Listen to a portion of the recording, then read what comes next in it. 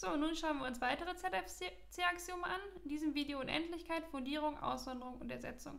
Was du dafür wissen solltest, ist erstmal, was Axiome im Allgemeinen sind, wofür braucht man sie in der Mengenlehre und ähm, was kann man damit machen. Zur Erinnerung nochmal, hier ist die Liste aller ZFC-Axiome. Wir haben uns die ersten fünf Axiome im letzten Video schon angeschaut. In diesem Video schauen wir uns jetzt Unendlichkeit, Fundierung, Aussonderung und Ersetzung an. Also diese vier. Dann legen wir direkt los. Was ist das Unendlichkeitsaxiom? Wir hatten ja schon mal ein Axiom, das Axiom über die leere Menge, was besagt, dass eine Menge existiert. Dieses Axiom ist so ähnlich, nur dass es uns jetzt sagt, es gibt eine unendliche Menge. Das kann man formal so hinschreiben, es gibt eine Menge m mit folgenden Eigenschaften. Die leere Menge ist aus m und wenn a aus m ist, dann ist auch a vereinigt die einer Menge a aus m. Warum sagt es, dass es eine unendliche Menge gibt? Ne, was hat diese Menge m für eine Eigenschaft? Also die leere Menge ist da drin. Dann können wir das einfach induktiv so weitermachen. Dann ist da drin die leere Menge vereinigt. Ähm, ich schreibe es vielleicht mal drüber. Die leere Menge vereinigt mit der Menge, mit der leeren Menge. Denn das hier ist genau das gleiche, als wenn man einfach nur die Menge mit der leeren Menge hinschreibt. Weil die leere Menge vereinigt, das tut nicht viel. Jetzt können wir im nächsten Schritt uns anschauen. Da bekommen wir die Menge mit der leeren Menge. Ähm, ich schreibe es lieber hier oben drüber, da kann man es besser sehen. So. Also im nächsten Schritt die Menge mit der leeren Menge vereinigt mit der Menge mit der Menge mit der leeren Menge. So. Was ist das? Das ist einfach die Menge, da ist drin die leere Menge und die Menge mit der leeren Menge. Ja, also die kennen wir schon so ein bisschen aus dem letzten Video. Im nächsten Schritt können wir das wieder anschauen. Also wir schauen uns wieder an diese Menge, die Menge mit der leeren Menge und der Menge mit der leeren Menge vereinigt mit dem gleichen, wo wir nochmal Mengenklammern rum, rumschreiben. Nochmal zu. Was ist das? Wir ziehen einfach die Elemente zusammen, also das ist die leere Menge, die Menge mit der leeren Menge und die Menge mit der leeren Menge und der Menge mit der leeren Menge. Und so weiter. Also in jedem Schritt bekommen wir eigentlich ein Element mehr. Hier haben wir null Elemente. Da haben wir ein Element. Diese Menge hat schon zwei Elemente. Diese Menge hier hat drei Elemente, also 1, 2, 3.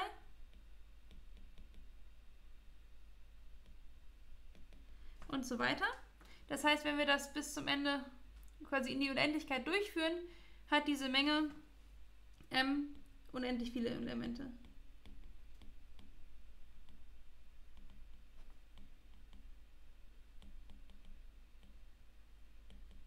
Für jede natürliche Zahl gibt es ein passendes Element, was genauso viele Elemente hat. Das heißt, dieses Axiom sagt tatsächlich, dass es eine unendliche Menge gibt. Okay, das nächste Axiom sagt uns ja auch wieder ein bisschen was über die Struktur von Mengen aus. Also das Fundierungsaxiom sagt, wenn m eine nicht leere Menge ist, dann gibt es ein Element a aus m, sodass a geschnitten m die leere Menge ist. Was heißt das? Was wollen wir damit sagen? Ähm, das heißt, man kann sich das so vorstellen, ähm, dass es sagt, dass es keine unendlichen absteigenden Ketten bezüglich der Elementordnung gibt. Warum ist das so? Ähm, zum Beispiel, wenn das nicht der Fall ist, ähm, also angenommen, das ist nicht der Fall, ähm, das heißt, wir haben unsere Menge m und äh, da ist, sagen wir, die Menge a drin und äh, meinetwegen noch weitere Mengen. Und a geschnitten m ist jetzt nicht die leere Menge, sondern da ist wieder, sagen wir einfach nur ein Element x drin. Dann wissen wir sozusagen x ist ein Element von a und a ist ein Element von m. Das heißt, wir haben jetzt sozusagen schon eine Kette bezüglich diesem Element sein, der Länge 3. Wenn jetzt für das x das wieder gilt, dass es da so ein Element gibt, so dass a geschnitten x nicht leer ist, dann bekommen wir wieder hier so ein Element, nehmen wir jetzt einfach mal x1 und dann bekommen wir hier wieder so ein Element x2 und so weiter. Wir bekommen hier so eine unendlich absteigende Kette, das heißt, es ist am Ende gar nicht mehr klar, wo dieses, diese Kette überhaupt aufhört. Und sowas, das wollen wir nicht haben. Dann äh, kann man schwer verstehen, wie diese Mengen ähm, fungieren und äh, wie man damit äh, zu handhaben hat. Das heißt, dieses Fundierungsaxiom sagt uns anschaulich aus, dass äh, solche unendlichen absteigenden Ketten mit diesem Elementsymbol nicht existieren. Okay, das nächste Axiom ist wieder ein bisschen einfacher zu verstehen. Das sagt ähm, wieder aus, wie wir Mengen bilden können, aber in diesem Fall, wie wir eine neue Teilmenge finden. Also wenn m eine Menge ist und phi eine Formel, dann ist auch die Menge aller x aus m, sodass phi von x gilt, eine Menge. Ähm, das heißt, wir können sozusagen, ich mal vielleicht erstmal ein Bild, wir haben unsere Menge m, die hat ganz viele Elemente hier, ja, das können unendlich viele sein, müssen aber nicht. Und jetzt haben wir irgendwie so eine Eigenschaft, unsere Formel phi, und ich sage mal, Phi gilt für dieses Element, für dieses, für dieses und für dieses. Und vielleicht auch für das. Dann können wir eine Menge bilden. Das ist eine Teilmenge von m und die hat genau diese Elemente. Das, das, das, das und das. Und das ist dann einfach die Menge aller x aus m, sodass Phi von x gilt. Und das Axiom sagt uns, das ist auch wieder eine Menge. Beispiele. Ähm, wir können uns anschauen, einfach die Menge aller n aus den natürlichen Zahlen, sodass n gerade ist. Oder die Menge aller n aus den natürlichen Zahlen, sodass n eine Primzahl ist.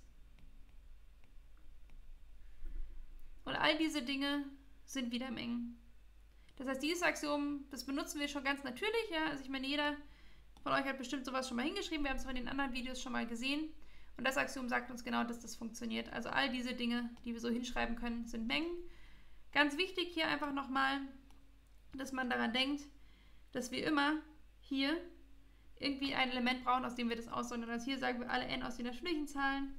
Ähm, weil ansonsten kommen wir ganz schnell wieder in dieses Paradoxon, dass wir sagen alle r, sodass r nicht aus r ist.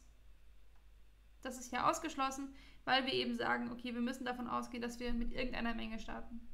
Das ist genau der springende Punkt. Okay. Äh, noch ein Axiom, das Ersetzungsaxiom. Das bildet auch neue Mengen und zwar sozusagen immer die Bildmenge einer Funktion. Also sei m eine Menge und phi eine Formel, die eine Funktion beschreibt. Was meine ich damit? Ähm, das heißt, wenn wir phi von a b haben und phi von a b', dann folgt, dass b gleich b' ist. Also wir haben sozusagen irgendwie äh, unsere Menge m die hat ganz viele Elemente. Und ähm, jetzt schauen wir uns sozusagen einfach an, wenn das hier das a ist, dann ist das b.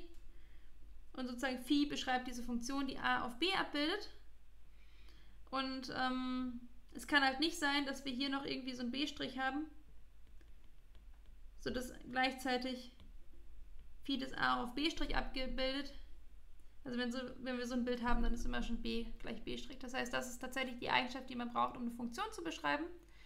Ähm, was sagt das Ersetzungsaxiom jetzt? Das sagt, dass das Bild dieser Funktion wieder eine Menge ist. Also die Menge aller b. Malen wir die vielleicht auch einfach in grün dazu. Also die Menge aller b. Sodass es irgendwie ein a gibt aus m, sodass phi von a b gilt. Zum Beispiel dieses hier. Das ist eine Menge. Das heißt, ähm, wir haben jetzt hier für dieses Element ein Bild. Wir haben für dieses Element ein Bild und so weiter und so fort. Sagen wir mal, wir bilden das jetzt so ab. So. Das heißt, dieses hier ist immer diese Funktion phi. Dann ist das hier vorne unsere Menge aller b, sodass es gibt ein a aus m mit phi ab und das ist wieder eine Menge. Ähm, was kann man damit zum Beispiel bauen? äh, starten wir einfach mal mit den natürlichen Zahlen und schauen wir uns die Funktion an. f von n ist gleich 2n, also für natürliche Zahlen n. Dann schauen wir uns einfach an die Menge aller m, sodass es gibt ein n aus den natürlichen Zahlen, ähm, sodass äh, f von n gleich m ist. Ähm, was macht diese Funktion? Denken wir einfach mal kurz drüber nach. f von n ist ja einfach 2n. Das heißt, m sind einfach die geraden Zahlen. Also das sind einfach alle, das können wir genauso schreiben, die Menge aller m, so dass m ist eine natürliche Zahl, m ist gerade. Und das Ersetzungsaxiom liefert uns jetzt, dass das wieder eine Menge ist. Also für dieses Beispiel kann man sowohl das Aussonderungs- als auch das Ersetzungsaxiom benutzen, um zu bekommen, dass das hier vorne eine Menge ist. Aber es gibt weitere Beispiele, bei denen man das zum Beispiel nicht so einfach mit dem Aussonderungsaxiom sehen kann. Aber wir merken uns einfach, die Bildmenge einer Funktion ist immer wieder eine Menge. Okay, fassen wir zusammen, was haben wir in diesem Video gelernt? Wir haben uns weitere ZFC-Axiome angeschaut, das Unendlichkeitsaxiom, Fundierung, Aussonderung und Ersetzung. Im nächsten Video schauen wir uns das letzte übrig gebliebene ZFC-Axiom an, das ist das Auswahlaxiom.